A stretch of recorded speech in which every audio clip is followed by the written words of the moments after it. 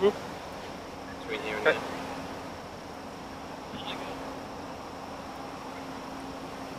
So this got to be hit right, or otherwise our leader could lose his lead.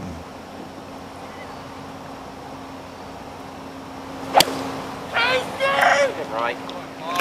Get right. He's got it going at the left Get right. portion of the green. Got a good hot That's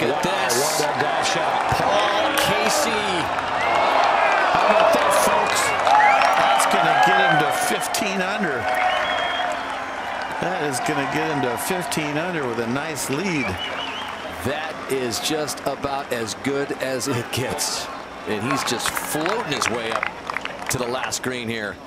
And another look at this second shot on this par five by Casey. It looked good and it had designs I mean, of that a is- double eagle. That's just a strafing long iron. It looked like something coming out of Arnold Palmer in 1960. They just ripped it in there. And uh, that is the shot of the day without a doubt. It just floated underneath the cup.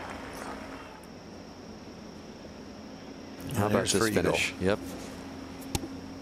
Birdie at 16. And an eagle finish for Casey. Just a tap in after a spectacular second shot.